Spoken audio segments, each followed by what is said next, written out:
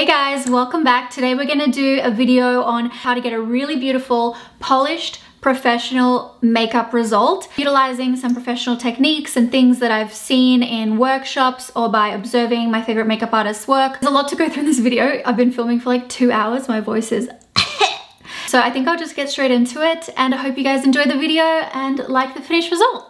So I shave my face using a little brow razor and you just use a feather light touch. It just makes your skin so smooth and the foundation looks flawless on the top. Estheticians are gonna tell you not to do this, but you make your own decision. Definitely patch test and don't try it out before a big event. Um, it's also better to do it a day or two before you have your big event. Um, for me, I can do it the day of. My skin is not sensitive, but um, definitely if you've never done it before, try it. And no, the hair will not grow back thicker, that's a myth.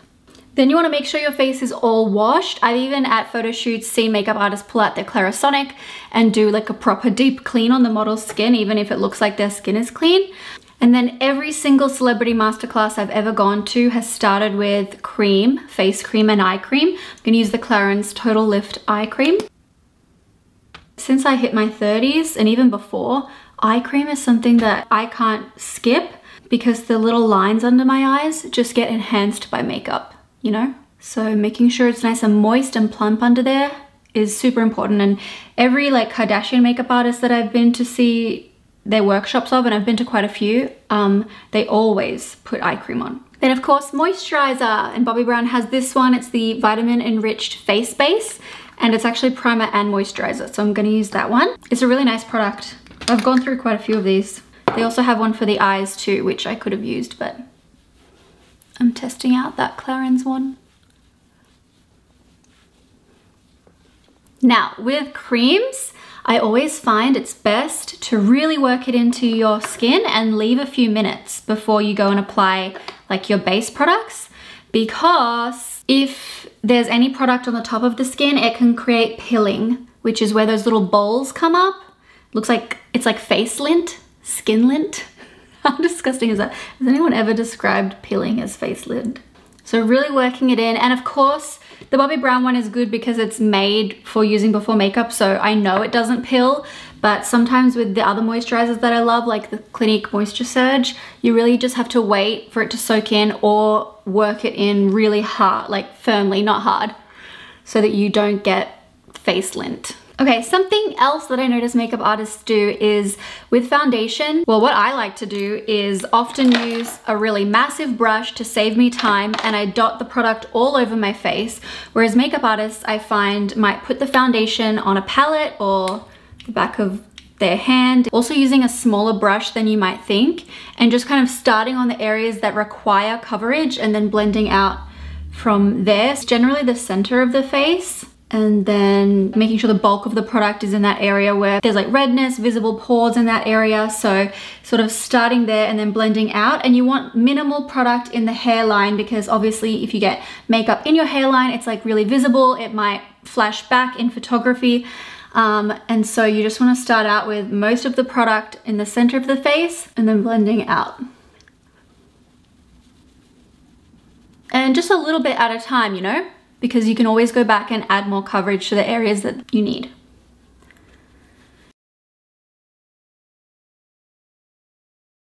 So really my brush is almost dry right now and I'm using that to just make sure it's blended out toward my hairline. There's like no new foundation there. You can probably see there's no foundation there. Just pick up a little bit here because I've got some scarring on my cheeks from old breakouts covering that. And also just keep in mind, I feel like at this point, that your face doesn't have to be all one color right now. Um, we still have ages to go on the makeup and we haven't even done concealer yet. We haven't added blush, bronzer, all these products add layers and therefore add coverage. So if there are blemishes showing through now, they might not be once we get to those steps. So you just, you don't have to make sure that you are fully caked up at this point. And my chin always needs a little bit more, so I will add more there and then take the residual on the brush, blend it down the neck. And something that I notice pretty much all makeup artists do, obviously right now because my hair is out, you're not gonna see it, but they pretty much always put foundation on the ears because if your ears are like pink or just your face is a different color to your ears, then it's not gonna be cute. So just make sure that's there. And something else that they do is they move the makeup even further down. There are there is body makeup and I love this brand Vita Liberata and I know that a lot of makeup artists use that. But you can also just use your facial foundation. Because obviously if you go to put your hand up to your face, you want your face to be, you know, a similar color. As you could probably see, this foundation isn't a perfect match for my face, but the rest of my body has more pigment to it than that. And in a photograph, you don't want your face to be even a slightly different color. But everyone's body has multiple different shades on it. There's undertones, overtones. So I just like to at least bring down some of the color on my face onto my collarbone. Not only does it perfect the area, but it will give it the same finish as my face and just draw all the colors together so that you're a little bit more cohesive. Because naturally, skin tones are not cohesive. Especially for me on my chest, I flush a lot and even looking at my um, hand to my chest, they're different, pretty different tones. It doesn't have to be a lot and it obviously depends on your outfit and stuff, but. Eyebrows, recently I feel like the trend is very natural brows. So what I've been doing that I think elevates my makeup look is starting out with a brow gel and I'm gonna go with clear today. Brushing my eyebrow hairs up because that laminated look is very editorial. So brush them kind of, doesn't have to be directly up because mine won't go that way, but up and out. So I just apply one coat, then I switch to the other eyebrow because I can come back now that it's a little bit tacky and finalize where I want the hairs to be. Otherwise, the product is a bit too wet to really position where I want the hairs. Another trick that I learned that I've always wanted to show you guys is to use clear eyelash glue, not a latex one. So look for the latex free ones. I'm just gonna do the tiniest amount over my eyebrows. Now don't be afraid because it's eyelash glue. So you're putting it on your eyelashes, it's safe to put on your eyebrows. Take a spoolie and put that through the brows. Now, one thing I learned is that you do have to work quickly with this because if the glue gets dry as you're blending it, um, you get like little white fluffs. And then if there are any bare patches, go in with a pencil to fill them in. For me, I need that in my arch because I used to have brow tattoo. So where I used to have the brow tattoo looks naturally thicker than my arch, which I've since grown in and didn't have tattoo on it. And I feel like you don't want your eyebrows to be one block color. So really just fill in the gaps. Seeing your skin through the brows is kind of key to making it look natural, you know? See how much thicker this brow looks than that one? Yay, now that will not budge. And if you want, you can press it down with your fingers. Yay, that was good. Okay, now this is something that I do not often do anymore, but I've noticed that makeup artists still do it, is you take a bit of concealer and once you've done your brows, use it to carve and just clean up. And I think that that's a really big key to makeup artist looks. Everything is just very crisp. There's just no product outside the lines. I'm taking the brush also from horizontal to vertical so I can come up in amongst the roots there. Just make sure there's no like harsh lines. I'm gonna take a Danessa Myricks product for my eyes and use that as a little base. This is the matte liquid pigment for lip, cheek, and eyes. You know, again, putting it on the back of my hand so I can control how much I'm picking up. And also when you see it, you know, on the back of your hand, you can see how much is kind of there. And so you can uh, know what to expect in terms of pigment on your eyelid. I do notice that makeup artists love these kind of cream pigments and this being a makeup artist brand, I kind of really trust it for my long wearing looks. I feel like makeup artists are pros at like layering their products. So definitely just taking your time. You don't always have the time, but if you do, I just find that I always get a better result if I really spend the time. And I enjoy it better. Rushing is, whoo, my least favorite thing. Another pro tip, a lot of our face halo makeup artists love to use face halos as a color switcher for the brushes so I've just been blending you know and I want to make sure that when I'm blending I'm not muddling the colors or putting on too much product so I use a face halo to just get the bulk of the product out and then I can go in with a basically clear brush and blend it out perfectly. This is something I do with my old face halos. So once I've had them for a while, then I like to use them for that. Then I'm going to do my eyeliner a little bit more early on in the look because I do want to do other stuff with the eyelid, but sometimes I notice that MUAs do the eyeliner here now, and then they'll go in with like a black later to set it and give it more oomph. So I make sure I sharpen the pencil and I actually learned in makeup school that instead of coming onto your eye like from head on, you can lay the pencil against your eyelid and then you've got the eyelashes to kind of keep you steady. Something else makeup artists do is use one of these pads so that their hand doesn't touch the skin.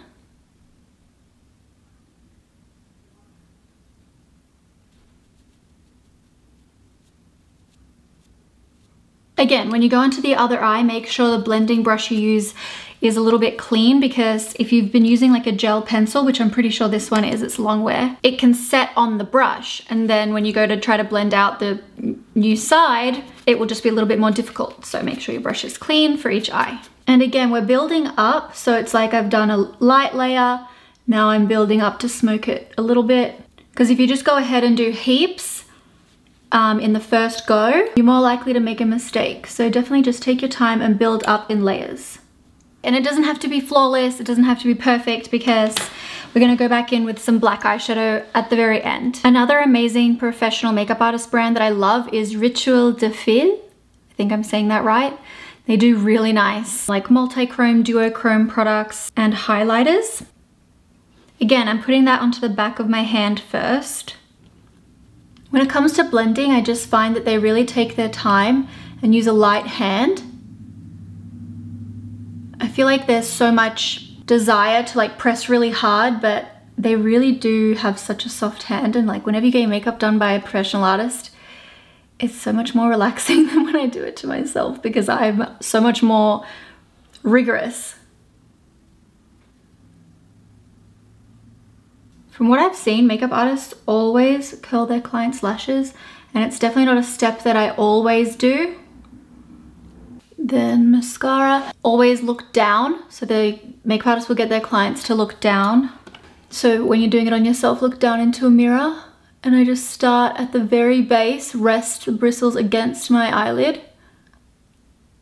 Shimmy and pull out. Now, I also come from above so that if any eyeshadow has fallen on my eyelashes from the top, we're kind of coating that over or making sure that that is not there anymore and I swivel the brush down and out to help assist with the curl. Then with the lower lashes, I find that they that makeup artists don't come onto the eyelashes the way I do. They either go like this, so the point first, or they'll put some mascara on the back of their hand. And then I've often seen this done with a fan brush, but I've also seen it done with like broad angle brushes too. They'll get it on an angle brush and then paint it like that. And that's usually just for the lower lashes in what I've seen. Then with some brush cleaner, take the end of one of your makeup brushes, make sure it's clean and dry. Then while the mascara is still tacky, press the lashes up so that as the mascara dries, they're more likely to dry in that upwards curled position. Cool, now I'm gonna move on to the rest of the makeup and I think cream bronzer is totally something that I notice makeup artists using a lot. Even if they go ahead with like a powder later, I noticed this. This is the Danessa Myricks one.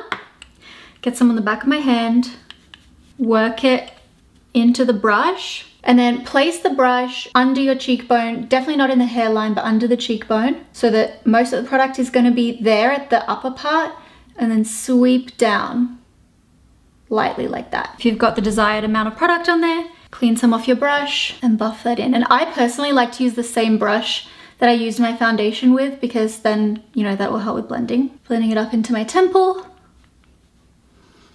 and taking just the residual into the hairline, being really careful because that will look stupid if you get heaps in there. Definitely add some up to the top of your forehead as well. I also take whatever's left and put it on my nose a little bit just so that all these tones are not just in that place, you know, they're gonna be present kind of everywhere. So sweeping it underneath the jaw a little bit, onto the ear, of course. And if I suck my cheeks in, I can see which way my natural contour would go.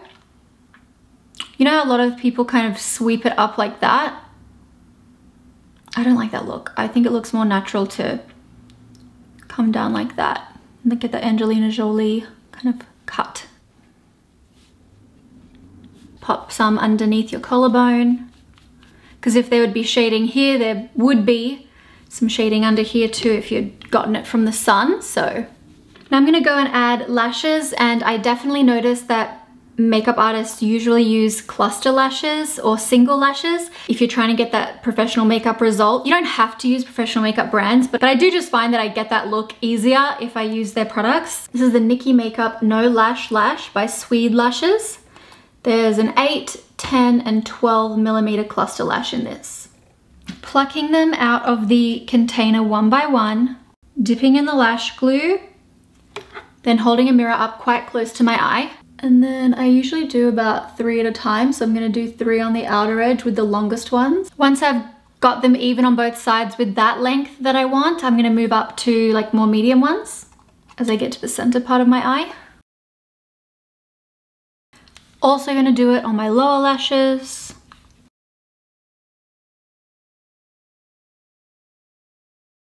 Then I'm going to take a cream black color, but you could also do like gel eyeliner. This is the Danessa Myricks.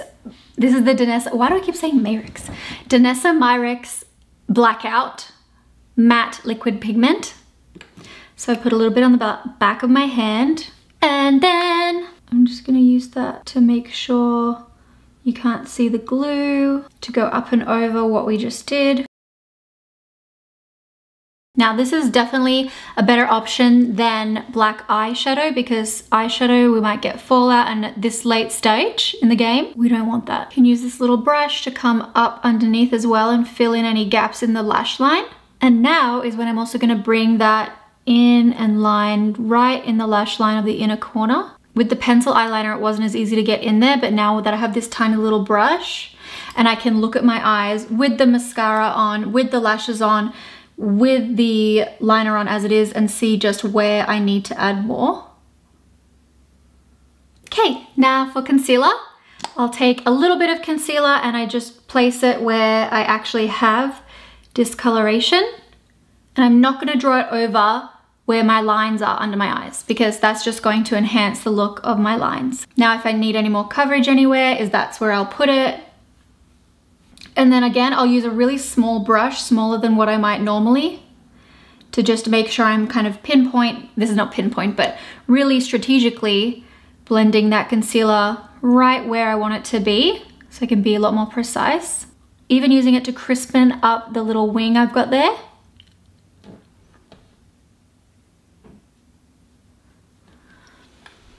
I was just using a really light shade for under my eye area and stuff, but now I'm going to go closer around my lips because that's an area of our face that we often touch and there's just often a lot of like discoloration, imperfections around there, redness. Any redness around the lips is gonna be brought out.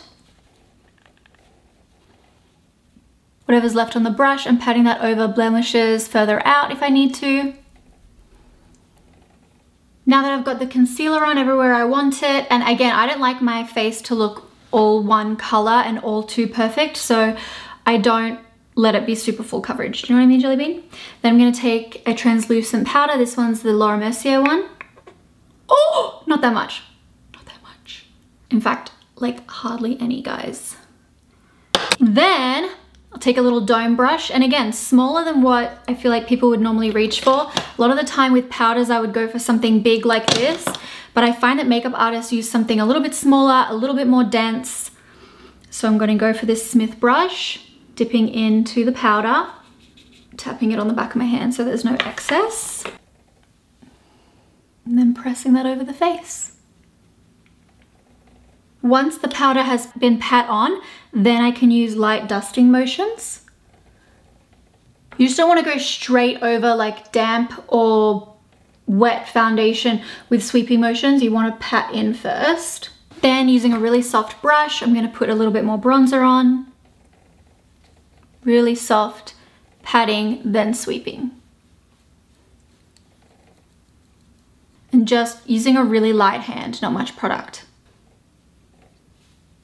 Again, just putting some on the back of my hand to make sure that I'm not going to be putting too much product on.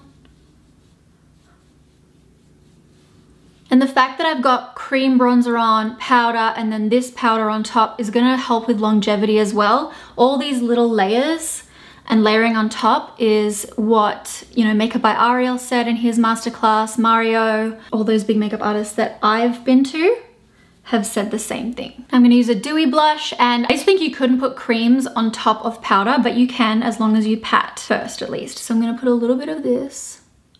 And again, a brush. I actually like to put it on top of powder because then it brings back the life to the skin, even though we only applied a small amount. So it brings back that more natural creamy texture. Gosh, blush makes such a difference. Back of the hand so you can kind of see what you're dealing with. And then coming onto the face. I also notice makeup artists pat a little bit over the nose and sometimes the forehead. Again, and it's just a matter of like bringing all the tones that are on your face together. So it's not just like, oh, you've got a poppy pink cheek, random. Like, no, it's actually part of my skin. You can see that it's shining through on my forehead and on my nose and my chin. And just the residual. A little bit cream highlight. Keeping it really precise, not like heaps everywhere. So a small brush patting it right on the high point of the cheekbone only.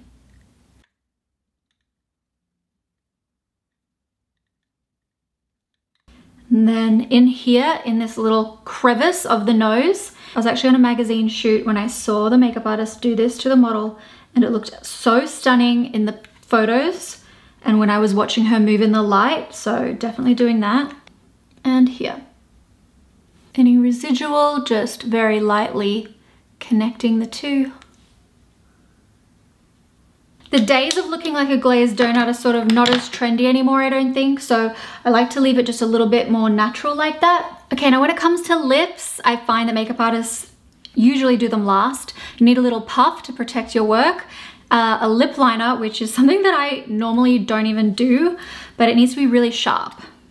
Okay, and then we're gonna use that in case, because I do like to steady my hand with my pinky. So I take the length of the pencil, so not coming at it directly ahead, no, tilting it side so you're getting the length of the pencil against the skin and then drawing and following the natural line of the lips. And if you want to go over the lip line, just hit the vermilion border, which is the little white outline of the lips. Try not to overdraw too much.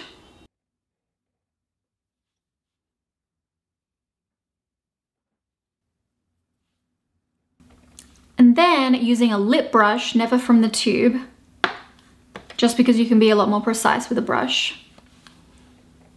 Do the same thing.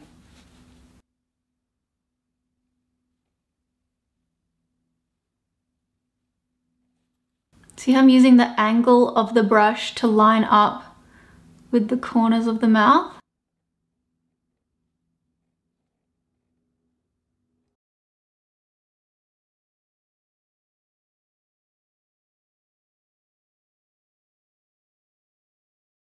Then if you absolutely have to, a little bit of concealer on a very tiny little brush. One last thing that I feel like a lot of professionals do that you don't really notice is they actually color in the hairline. So I'm gonna take my Root Touch Up Powder. This is by Clairol. And you just perfect the hairline. That way there's no white line between like the bronzer, the foundation, and our hairline, especially if you've got, you know, brown hair that's quite a stark contrast. This is where my cowlick is, so fill that in to make that look more full and just give it that more perfect shape. You can even use it in your part to make your part look thicker. Now don't be too heavy-handed, you don't want to look like you've got a helmet on. Okay, now I'm looking at myself. I want to enhance the highlight. I'm going to take this and on a very small brush, I'll take I'll mix these two. You know what? I'll mix that one too. But just a teensy amount. And again, checking it on the back of my hand, kind of working it into the brush. Also, put some on your collarbone. Again, that's another way when you're looking at me full on, it's not like, whoa, makeup, bright colors, gloss, and then your body's just not. so definitely put some on to bring it all together. That is the finished look. Ah, that is a finished look. Everything should match um, and kind of flow together. You know, my ears are not a different color. It's not too much product, it's just a little bit of product layered over and over again. And then really crisp lines. So there you have it. I love how this came out, putting together all my favorite techniques and even some techniques that I wouldn't normally do, but that I think make subtle differences that when they're put all together in a look, give you that really special occasion look. And what I also love about this brow hack is that now I have a fringe and that I'm constantly playing with it and like touching it. This will not budge even underneath you know, my hair or under a hat even, like it won't move until I go to take it off with my makeup remover. Hope you guys enjoyed the video and let me know what you think in the comments and I'll see you guys over on my Instagram and my Facebook and my TikTok. So follow me there at Chloe Morello. And that's it. I hope you guys enjoyed and I'll see you next time. Bye.